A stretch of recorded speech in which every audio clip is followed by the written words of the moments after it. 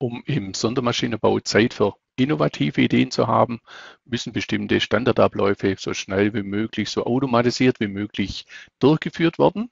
Schauen wir uns hier die automatisierte Schraubverbindung an. Die Vorgehensweise, dass wir uns einfach mal die Position auswählen. Interessant finde ich schon, dass wir hier diese Vorlagen natürlich nutzen. Möchte ich eine Sechskantschraube einsetzen, eine Zylinderkopfschraube, welche ISO möchte man haben. Dann natürlich auch zusätzlich möchte ich Scheiben nutzen für die Kopfseite, für die Mutterseite.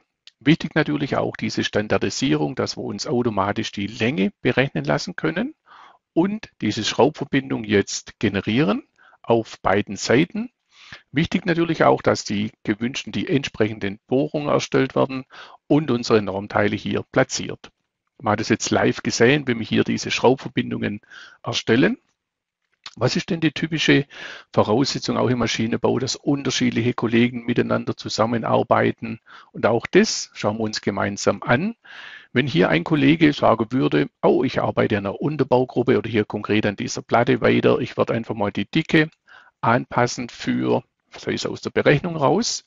Wichtig natürlich auch, wie schnell, wie komfortabel bekommen wir die Informationen mit. Klar, Kreoparametrik. Wir lassen uns einfach mal jetzt diesen Bereich aktualisieren. Logisch wird die ganze Baugruppe hier aktualisiert. Wichtig natürlich jetzt auch für uns diese intelligente Schraubverbindung, wollen wir hier natürlich jetzt genauso wieder nutzen, um zu sehen, oh, die ist jetzt zu kurz. Was machen wir automatisch? Bitte lassen wir die Länge wieder aktualisieren oder wir gehen manuell hier rein, würden vielleicht doch eine ganz andere Größe nehmen.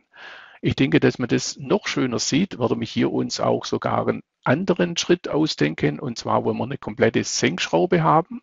Diese hier, bitte die Länge, dass wir die auch mal generieren.